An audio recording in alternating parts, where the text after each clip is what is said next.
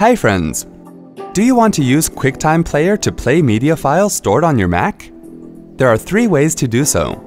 Let's go ahead and watch the three methods one by one. First of all, you need to click the Go tab on the Finder menu and then click on Applications. Now to locate the file you want to play, on the Finder menu, click on the File tab and then click on New Finder window. Locate the folder where you have stored the video files. The first way to open a video file is by just double-clicking on the movie or video file. The file will automatically open on QuickTime Player. Click the play button to watch the video file.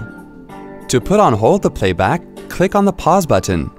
To learn about the second way to play video files using QuickTime Player, close the player window. In the second way, you just need to drag the movie or video file to QuickTime Player. The file will automatically open with QuickTime Player. Click on the play button to view the video file. Close the player window.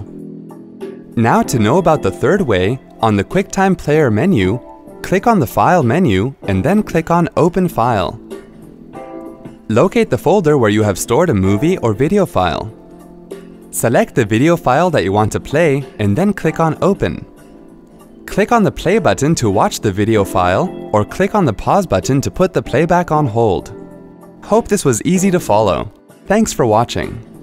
To check out more related tech videos, click here. If you have any query or want to share something with us, click here. To get iYogi tech support, dial toll-free numbers. To stay empowered technically, subscribe to our channel.